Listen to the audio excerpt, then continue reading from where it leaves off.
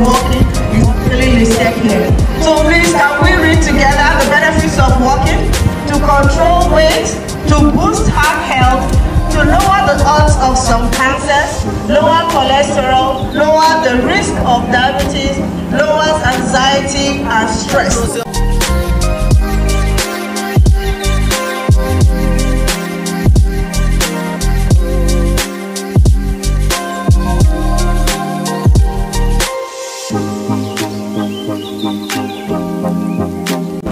Must take care of ourselves before we'll be able to take care of the home and everybody.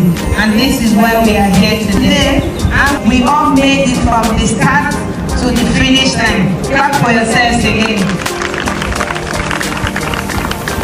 And we hope to continue in this manner. So here today,